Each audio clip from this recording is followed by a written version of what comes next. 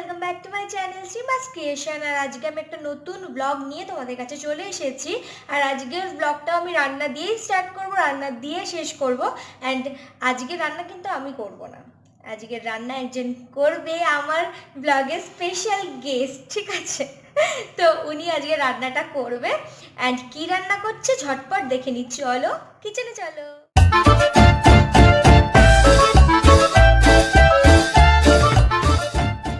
Master শেফকে আপনারা দেখতে চান? আগে বলুন হ্যাঁ কি না। তো আজকের মাস্টার শেফ এখানে রেডি আজকে উনি রান্না করবে। আজকে তুমি কি রান্না করবে একটু বলে দাও তো। তো আজকে একটা সি ফিশ ম্যাকারেল সবাই জানো। তো ওটাকে আমরা একটা মালাবার স্টাইল বা গোয়ান স্টাইল ওই টাইপের ভাবে বানাবো। তো একটুখানি মিক্সড কম্পোজিশন তো আমরা ওরকমই বানাবো এত বড় বড় জ্ঞান দিচ্ছে কিন্তু ফার্স্ট টাইম বানাচ্ছে হ্যাঁ। ঠিক আছে? জ্ঞান সব থেকে ভালো বড় লাগে। সব থেকে বড় কথা উনি আজকে ফার্স্ট টাইম একটা ফিশ রেসিপি রান্না করছে। এমনি মোটামুটি অনেক কিছুই রান্না করে থাকেন উনি বাড়িতে বাট কোনোদিনও এরকম ফিশ ফ্রাইড রাইস এইরকম টাইপের রান্না এখনও পর্যন্ত করেনি। সো দেখা যাক আজকে কীভাবে রান্না করে এরকম কেমন টেস্টি হয়। আমি কিন্তু আজকে তোমার জাজ বুঝলে? তোমার ফিশ আমি আজকে দেখব কীরকম হয়। সো চলো তাহলে রান্নাটা স্টার্ট করা যাক। তো প্রথমে আমি মাছটাকে এরকম একটা ছোট বলে নিয়ে নুন আর হলুদ দিয়ে মিক্স করে ম্যারিনেট করে রেখে দিয়েছি। হাফ অ্যান আওয়ার এনাফ তো এটা থাকুক, ততক্ষণে মশলাটা আমরা রেডি করে নেব, বাকিগুলো। তো উনি এখন তোড়জোড় করছে, কি কি মশলা লাগবে অল আর এদিকে তোমরা মাছটা দেখতেই পেয়ে গেছো আগে। তো মাছটা আমরা কি করে পেলাম, এটা কিন্তু তোমরা কোয়েশ্চেন করতেই পারো। তো আমি আগেই বলে দিই তোমাদেরকে যে কদিন আগে যে আমি একটা ব্লগ বানিয়েছিলাম, সেটা হচ্ছে চিংড়ি মাছের। তো সেই চিংড়ি মাছের সঙ্গেই এটা কিনে এনেছিলাম। বেসিক্যালি কোনো মাছই এখানে পাওয়া যাচ্ছে না। সেই সেই কবে গিয়ে সেই, না, বাড়িতে এসেছিল ফ্রেশ টু হোম থেকে মাছ, সেই একটুখানি পড়ে আছে আর এইটা আনা হয়েছিল এটাই। এটা আমরা কোনোদিন এখনও পর্যন্ত রান্না করিনি বাড়িতে।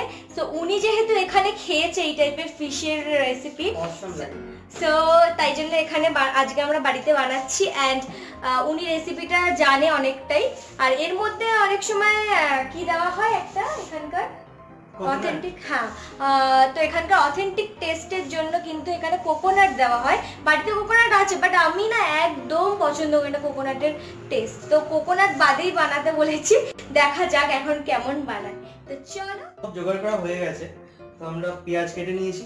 আর বাকি যে সব মশলাগুলো দেখছ এখানে রয়েছে লবঙ্গ আর কিছুটা দারচিনি গোলমরিচ জিরে অনেক কটাই মানে কি বলে এগুলো রসুন তাই না? হ্যাঁ আর আদা আদা আর এখানে শুকনো লঙ্কা গোটা শুকনো লঙ্কা এগুলোকে আমরা মিক্সিতে গ্রাইন্ড করে নেব। সর্ষে আর সর্ষে গুঁড়ো সরি গুঁড়ো না গোটা। গোটা সর্ষে? এগুলো আমরা মিক্সিতে মিক্স করতে দিয়ে দেবো। পেঁয়াজ শুদ্ধ না পেঁয়াজ বাদে? পেঁয়াজ বাদে পেঁয়াজ ওকে সেটা ভালো। তেলে ভাজতে হবে। তো এটাকে আমরা এখন পেস্ট করে নেব তাই তো? হ্যাঁ। তো এই এই মশলাগুলো কিন্তু খুবই ইম্পর্টেন্ট এই সব কটাই লাগবে এই রেসিপিটা রান্না করতে। তো এটা এখন আমরা পেস্ট করে নিচ্ছি।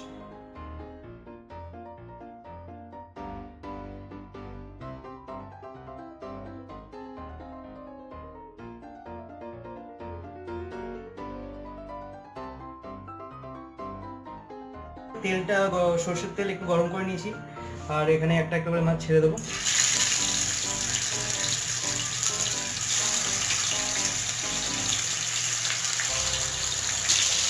তো মাছগুলো ছেড়ে দিচ্ছি তেলের মধ্যে।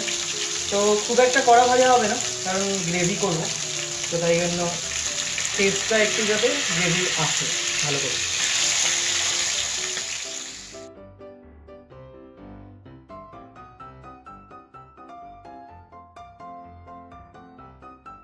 এবার এই সেম গরম তেলে পেঁয়াজগুলোকে ছেড়ে দিচ্ছি।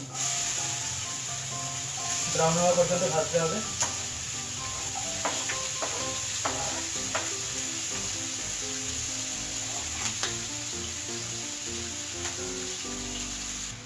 এর মধ্যে সামান্য একটু নুন দিয়ে দেওয়া হবে।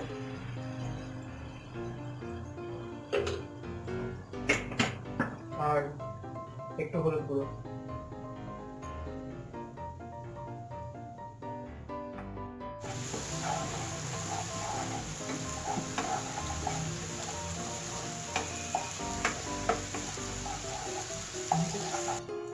তো এই রান্নাটা যেহেতু একটু টক জাতীয় হয়, তার জন্য এই গ্রাইন্ডেড মশলাটার মধ্যে একটু ভিনিগার দিয়ে দেওয়া হচ্ছে।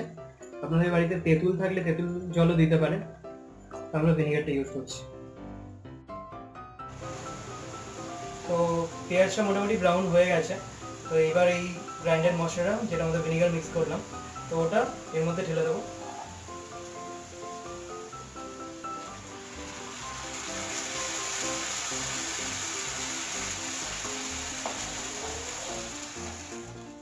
তো মশলার মধ্যে থেকে যতক্ষণ তেল বেরিয়ে আসে, ততক্ষণ ভাজা হবে এটা। মশলাটা থেকে একটু তেল ছেড়ে এসছে অনেকটাই। তো এখন আমি কারি পাতাটা মিক্স করে দিচ্ছি এর সঙ্গে। তো কারি পাতাটা এখন দেওয়ার কারণটা হচ্ছে যাতে গ্রেভিতে মশলা, এই কারি পাতার গন্ধটা একটু বেশি থাকে।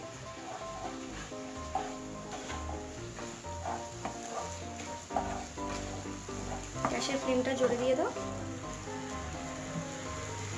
তো দেখতে কিন্তু এটা এখন দারুণ লাগছে বা তা নেই খেতে কেমন হবে? খেতে কেমন হবে হ্যাঁ? তুমি কেরম রান্না করছ তো খুব হাই রয়েছে আমার এটা খুব ভালো লাগে। যেহেতু বাড়িতে বানানো এখন বলা বলা যাচ্ছে না টেস্টটা কেমন হবে। তো দেখতে কিন্তু তোমরা দেখতেই পাচ্ছ অসম লাগছে।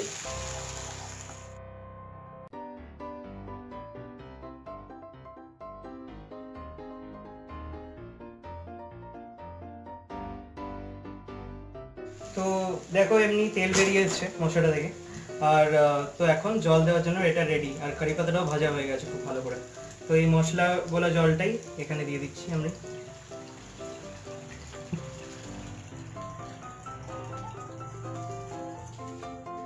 তো জল ঢেলে দেওয়া হয়েছে।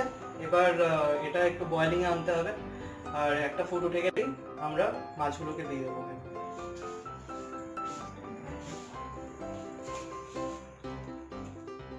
সো জলটা অনেকটাই ফুটে যাচ্ছে মানে পুরোটাই।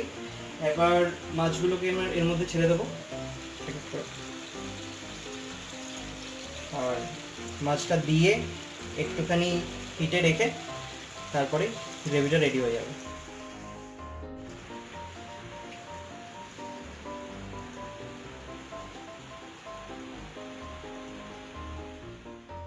তো মাছের ঝোলটা পুরো ফুটে এসছে, আর গ্রেভিটাও রেডি। তো এটা খুব একটা জলসাও হবে না, আবার খুব একটা টানা টানাও হবে না। এটা পারফেক্ট এবার আমরা এটাকে নামিয়ে নেব।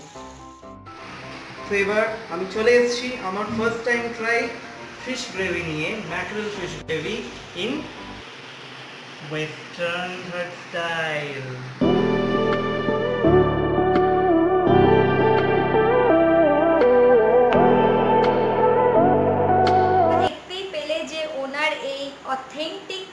রেসিপিটা তৈরি হয়ে গেছে নট অথেন্টিক এর মধ্যে যেহেতু কি নেই?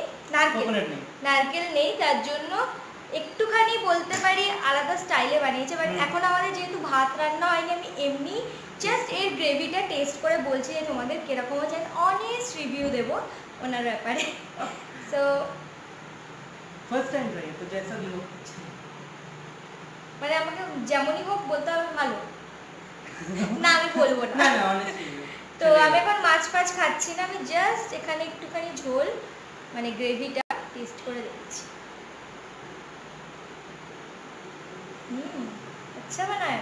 আরে আমরা কদিন আগে গোয়ায় গেছিলাম এরকম টেস্টের গ্রেভি দিয়ে খেয়েছো তুমি ওখানকার থালি।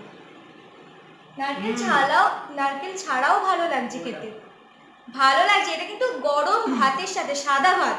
নট অন্য কোনো রাইস সাদা ভাতের সাথে এই রকম একটা গ্রেভি বানিয়ে যদি খাওয়া যায় এর মধ্যে নারকেল দিলে তো আরও অসাধারণ লাগবে। হ্যাঁ। বাট এটাতে কিন্তু অসাম লাগছে খেতে। তোমরা বাড়িতে ট্রাই করো আর আমাদের জানাতে কিন্তু ভুলো না।